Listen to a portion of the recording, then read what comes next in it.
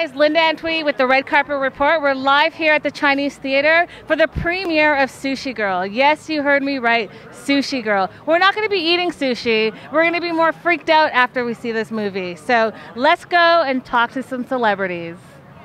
So, Tell me what you're working on, because I hear there's a few things. Jurassic Park 2. Jurassic Park 2 I did when I was younger, 12 years ago, and I just finished How I Met Your Mother, and I did a stint on Switched at Birth, so it's just like whatever comes my way and whatever I'm lucky enough to have that opportunity to be in, that's what I go for.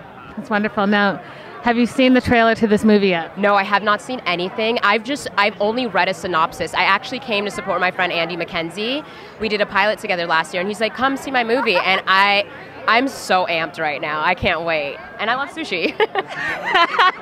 you knew? So duh. so duh. Well, you know that there's a little thrill to it, right? So it's supposed to be a little scary. So Danny Trejo, I love him. I'm so excited. Like I love this kind of like raw, vicious, like Tarantino battle royale kind of stuff. Like I'm I'm all the way down. And it's like perfectly cast, icons all across the board. I was like, so Luke Skywalker is going to be here tonight.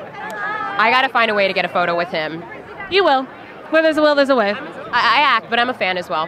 That's the only way. I mean, hey, it's that's it. Balance. Hello. Balance. Yeah. Yes. Okay. Well, if our viewers wanted to find you, where would they find you on Twitter? At VanessaChester.com one N, two S's. You know I was about to go there, right? Yeah, everyone's always like V I N. I'm like, no, I'm not a Vin. I'm a Vanessa.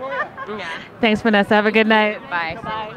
If you like these videos, make sure to subscribe, favor, like, and take a look at some of our other ones.